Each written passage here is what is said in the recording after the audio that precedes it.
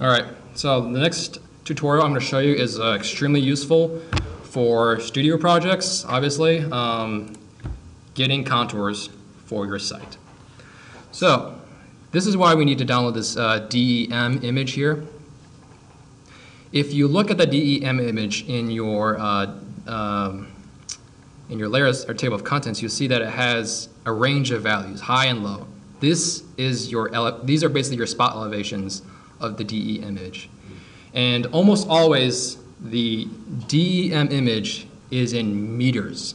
This is extremely, extremely important to remember. These numbers here, if you download it from the USGS website that I showed you guys, is going to be in meters. 173 meters 374 meters. This is extremely important when you want to bring this information to AutoCAD or Rhino later because you're not going to want your contours to be in meters. You're going to want your contours to be cut in feet. And I'll show you guys how to set that up um, now. So first we need to pick a site that we want to focus on. Let's say we want to focus on, let me go turn my buildings layer real quick just so I have an area. Let's say we want to focus on, uh, let's find an interesting layer. Um, one thing that might be worth doing is to change the gradient of this background. If you click on the uh, gradient there, you can choose a color ramp. And you can choose one that has a lot more variation in its tone, such as this one. And you begin begin to like understand the, really the, what's going on topographically in this region here. Um, let's say, let's say you want to get the contours for, let's say you're interested in this, uh, this interchange here. There's a, lot of, there's a lot of grading in this area here. Let's say you want to get some contours for this area here. So first you set an extents of the area that you want to cut contours for. In general, try to keep your extents pretty uh, small. If you if you keep your if you make your extents this big, it's going to contour for the entire site here, and it's going to crash ArcMap. So just keep that in mind. When you pick an area that you want cut, cut contours for, um, let's say like this area here, set a bookmark. It's a create bookmark. Call this uh, I'll call this one site, for instance. That way, if we lose our location, again, you can just go back to your bookmark and just have that site uh, located. Um, to cut contours, you're going to need to make sure you have your 3D Analyst and your Spatial Analyst extensions enabled. If you go to Customize up here, there's a option called Extensions. Uh, just make sure your 3D Analyst and your Spatial Analyst options are checked. If they aren't checked, then they won't work. You're going to want to go to the Arc Toolbox, which is this little red button um, uh, in your main toolbar right here. It's called the Arc Toolbox. If you click on that, it's going to give you uh, this menu here. I'm just going to drag it out. If I can drag it out. I'll just pin it. Actually, I won't pin it. Um, and these are basically your, uh, your tools. You can do all your analysis, all your uh, conversion, all your uh, cool functionality is all within this set of tools here. I'm going to show you a lot of tools this semester, um, but today we're going to focus on one. It's going to be the contouring tool. You can get that in two locations, either in the 3D Analyst line here or the uh, Spatial Analyst line down here. Both of them work equally as well. You can choose either one. In this case, I would choose 3D Analyst. Expand that option. You're going to want to go to the raster surface option expand that, and you'll see there is an option called contour. Now double click that. And it gives you the contouring function tool right here. It's going to ask for several inputs. So the first line says input raster. The raster will be your DEM image, this one here. And the easiest way to bring it in is you can either select it from the drop-down menu. It's only going to find the raster images that are within your data set. So it, as you can see, it doesn't show any of the shape files that I have there. So it's only going to choose that one. You can also just drag it like that into the line there and that will work uh, as well. There it goes. It's going to ask for a location of your polyline features, uh, where it wants to save. This is something I recommend you do in general is just to leave this as your default. Don't mess with this line here. Sometimes uh, uh, it won't work if I change this line for some reason. It Contours like to be saved into a what is known as a geo database, this .gdb uh, here. If I save it as a shapefile outside of it, sometimes it doesn't work, and I'm not sure why. So I've given up guessing why, and all I do, I just, I just, I just leave it like this. And the thing is, you, after you're done with that, you can export the data again into the folder that you have all your information saved to. Again, it's not a big deal. So just leave this line as is. That's my recommendation. Contour interval, that's, do you want one foot contours, two foot contours, three foot contours, five foot contours, 10 foot contours? In this case, I think we can do, let's do five foot contours. It just kind of, you're just kind of looking here, kind of like determining what's the best resolution. If you do one foot contours, it might be too dense um, to be useful. Uh, base contour, always set it to zero. That means it's going to cut it above uh, the zero datum or sea level. And then Z factor. This is extremely important right here, this number. If you just leave this as is, it's going to cut your contours in meters.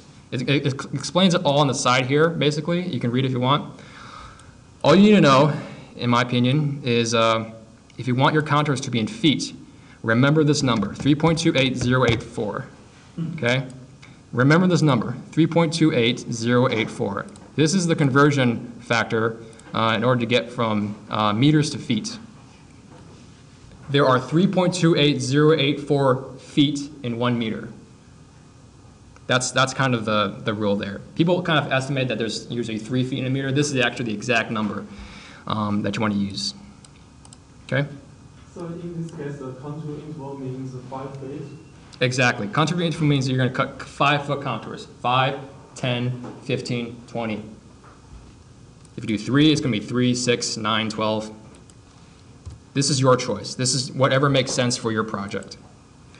Okay, I'm not going to, I'm not going to click OK yet. Don't click OK yet. That's dangerous. Um, don't do it. You need to go to the Environments button down here. Click on that button.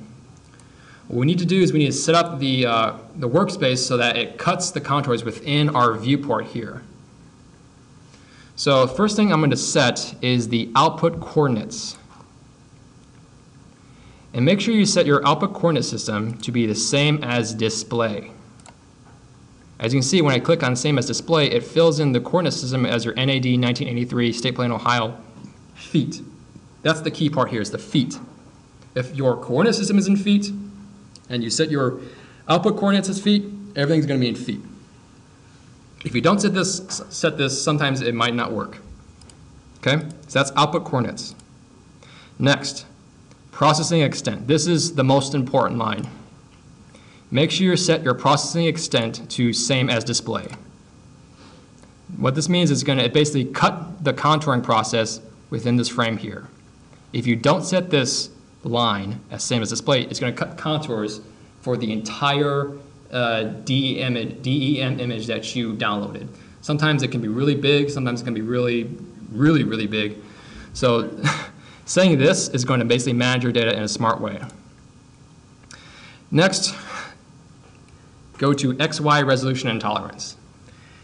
And this is just something that I've kind of like figured out after years of trial and error is if you just set everything to one centimeter, it gives you the smoothest possible result. Sometimes if you don't set this resolution option, your contours could turn out looking jaggedy or weird or kind of strange looking. So setting this to a low value like one centimeter is a good way to make sure that your contours are nice and uh, smooth. And once you set that up, that's it. These three lines, output coordinates, processing extent, XY resolution, and tolerance. Make sure those are set correctly. Click OK, click OK, and then just let it work. So I'm gonna. Okay, so it popped up. So if I turn off my image here, you'll see you have the contours uh, in the background uh, cut within this frame that we set previously.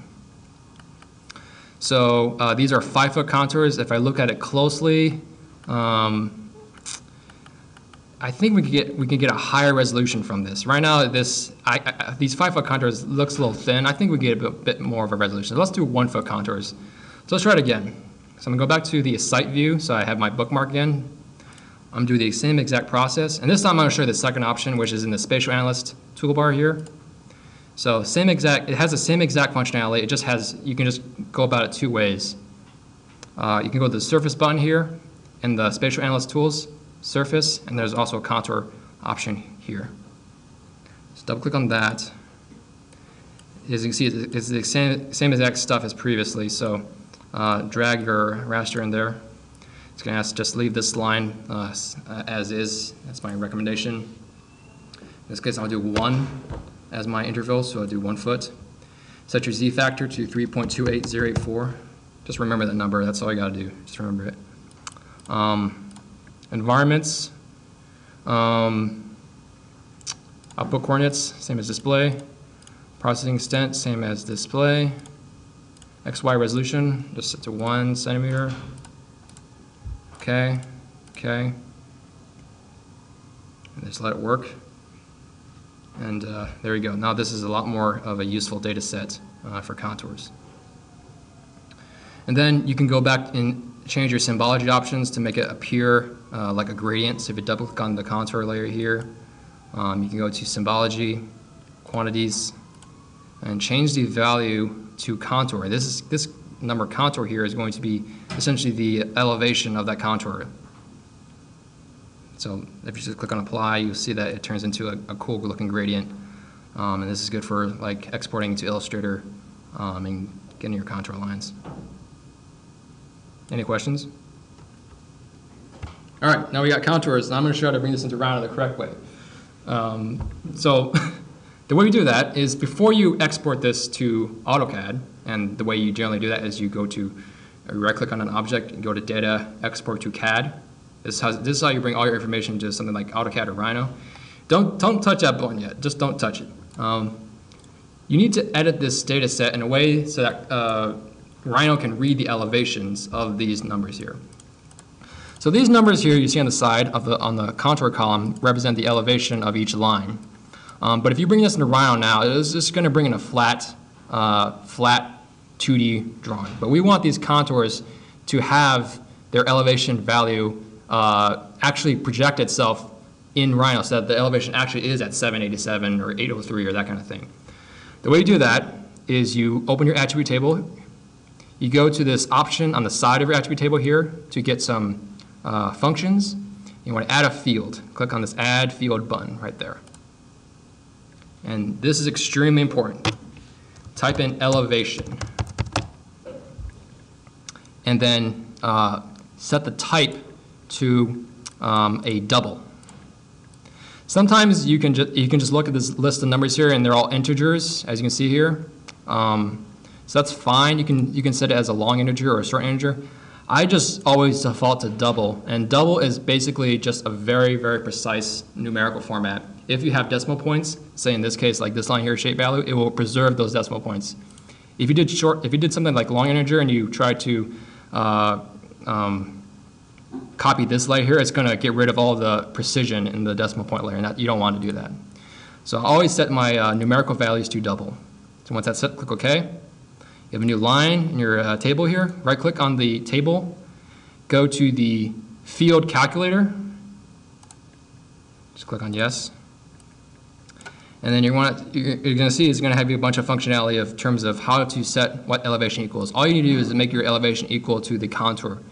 And so all you need to do is click, double click on the contour option here. So you can see it says elevation equals contour. Click OK, like that. So now, when that's, once, that, once that's set up, you're done. You're basically done. So now just get out of here, right click on this guy, go to data, export to CAD. You'll automatically put your contour layer um, in the export options, and you can also bring in other layers. So let's say you want to bring in, say, the uh, uh, like the the buildings layer, for instance. Um, you can also export that simultaneously um, as with your contours. Just leave your output type to a regular DDOG uh, 2013, that's perfectly fine. But you want to make sure you set your output file to a location, and I always just default to my desktop. So let's call this Ohio export. Uh, before you do anything else, click on the Environments tab. This is also extremely important when you export to CAD. Make sure you set your output coordinates to same as display. See, I'm doing the exact same thing for every single one of these um, uh, functions, is make sure my output coordinates is the same as display. That means it's going to preserve the coordinate system that is part of this ArcMap document and basically preserve the units as feet. And then also make sure you click on uh, the cartography button here and make that also same as display. So output coordinates and cartography. And also, I highly recommend make as well setting your processing extent to also same as display as well. That way, it will only export what you see within your window. If you don't set that, sometimes it will just export everything, and you'll have a CAD file for the entire state of Ohio if you if that's what your heart desires. But who, people are different. Um, then just click OK. And just let that uh, work. Um, yes, the numbers you see on the line here, these are the, uh, the elevation above sea level for this range of contours. One thing to note is if you look at the comparison of these numbers to the original DEM image, you kind of see that the range of these is much higher than these. That's because we took this number and multiplied it by 3.28084. So you see the magnitude of these numbers and these numbers feel like about three times difference. So that means you did the, you did the process correctly. Now, when you export your information to AutoCAD, it always au- automatically adds the AutoCAD layer into your ArcMap document. Um, and you see that's what we named our AutoCAD layer. You don't really need that anymore, so just remove it. Every time I export, I just remove the AutoCAD layer. Um, and before I do anything else, I'm just going to save my map. I'll just call this Ohio. Okay. Let's get out of here. Let's go to Rhino real quick. So uh, in Rhino, let's import. So type in import. Go to import your CAD, uh, Ohio export DWG. So double click on that guy. And uh, you'll see now that your contours now have elevation associated with it. So now you can use this to like model your site and all that fun stuff. And yes, this, these, these values here will be uh, whatever the number is above sea level. So let's, let's, let's just do an example here. Like if the number, if the shapefile does not have an elevation value, it always come in at the zero elevation. And so let's say, let's just look at the magnitude of these contours. They're within, they're about 800-ish. So if I just take any contour and I just move it down, like negative 800, oops, negative 800, you see that it comes basically at the zero level. So now you know that these are at the correct elevation. Um, so that is how you bring elevation data into Rhino. So you guys want to know how to turn this set of contours into a nice, beautiful surface. So you can trim your surface and you can put your building on your surface and you can do all the fun things you can do with a surface. You guys just, just want surfaces. All right, I'll tell you how to do it. Here's what you need to do first. Before you do, do anything in Grasshopper, set a new layer in Rhino and call that bounding box. Because that bounding box is going to be what turns into a surface. So set that as a layer, I'm just give it color. I'm going really fast here, so sorry, but that's the way I work, the way I roll. All right, so let's see here. There's not, so you see what's going on here? There's not much information in terms of contours on this edge, so there might be a problem there. I might want to turn, you might, you want your bounding box to cover a region with a good amount of contours. So I'm going to just reduce the size of this to cover that region right there. Um, okay, so the end result is we're going to have a surface that uh, is within this region of your box. Okay, now open Grasshopper. You want to set your contours first. So the way you do that is you click on the curve uh, option here, right click on the curve, set multiple curves, right click on the contour layer, select objects, you select all your contours at once, hit enter, contours set in Grasshopper. Next, another, another curve. Set your bounding box. Set one curve, click on the bounding box, and now you're done, okay? To make sure that I don't accidentally move something, I'm just gonna turn off all my uh, layers that in uh, Rhino there's nothing selectable, but still in Grasshopper, it's just previewing in Grasshopper here, okay? Oh, I'm sorry, I'm gonna, I'm gonna try to move as little as possible because I tend to scroll around in Grasshopper a lot and gets confusing, so I'm just gonna keep this on the side like that. I'm just gonna keep this steady like that, okay? So no more, no more scrolling around, all right? So what we need to do now is we need to turn this into a mesh. Not a surface, a mesh. We'll, we'll get to the surface soon. The easiest way to do that is to just explode the curve into points. by double typing the explode option there. This turns all the curves into a series of vertices. We don't need to look at this, just turn off the preview. Take the vertices as a vertices option here, flatten that list so that it just has, puts all the vertices on one giant list. If you guys don't know what the difference between, know how to manage lists in Grasshopper, then you're screwed because that's pretty much the main thing to understand in terms of mastering Grasshopper is lists and sets. Type in Delaunay Mesh. Ooh, Delaunay Mesh. Good old Delaunay Mesh. Plug in your vertices to the points layer here, and you get a ugly, ugly mesh. Ugh, meshes. The worst possible thing that you can ever have in a Rhino model is a mesh. Can't trim it, can't do anything with it. It just makes your file slow. Yuck, yuck, yuck. But it's there. We need that. Turn it off. Take your curve layer, turn that into a surface by typing in boundary surfaces like that. Plug that in there. Now it's going to turn that curve into a surface. We're going to need to turn that surface into a series of points. So click, type in divide surface. What this does is turn, it turns that surface that we just made into a series of gridded points. And these points are going to become the spot elevations that will make our surface. So the higher resolution you can make these points, the better. Just be careful that if there's too many points, it will just be too slow. So you gotta find a good balance here. Generally, my rule of thumb is I just get the dimensions of the surface by typing in dimensions, plugging into the surface so I get a UV value here. You could just plug in these UV values straight into the die surface, but it might be too big. So I'm just gonna type in a divide option. I'm gonna divide all the, the dimensions by two, just to get a 50% um, option. And take this division option, copy and paste it, so I can also divide the V. Am I going fast enough for you guys? Fast enough? All right, plug in the U to the U value, plug in the V to the V value, um, and just wait for that thing to finish uh, doing its thing. Yes, look at that. A nice mm, thing of points. Look at that. Oh, man. Beautiful. Actually, that's probably too much. So I'm going to actually turn that off, and I'm going to turn this to like a, a higher number, like 4, for instance, or eh, 3.5.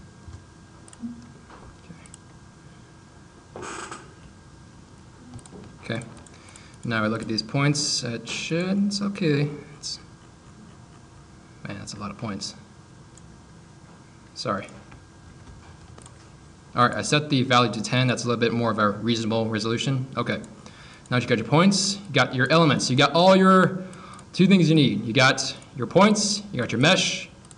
Now what do you do? You type in mesh ray. Mesh ray. Look at that. What this does, it allows you to solve the intersection of a mesh and a series of vectors. The cool thing is, all you need to decide the vector is just a grid of points. Hmm. Oh, wait, look at these points here. I just gotta put these points in there like that. Okay. Oh, I need a mesh. Oh, okay. Let's plug in the mesh there. And now you need a vector. Okay, the direction is going to be up, right? Because these points are, if I look at the um, perspective view here, these points are below the actual contour. So we need a vector that goes up. So just type in a z vector. I just double click and type in z, you get a unit z vector. Plug in that there, and what you're gonna see is a miracle. This is gonna be a miracle. Look at that. Whoa. I'm sorry, I sound kind of sarcastic right now, but I'm just super excited because this is Grasshopper. Um, okay, what you've done now is you set, essentially set a series of spot elevations, and then the last step you need to do is take these points, flatten your points, turn this off, type in surf from points. Wow, a surface that you can make just from points? All right.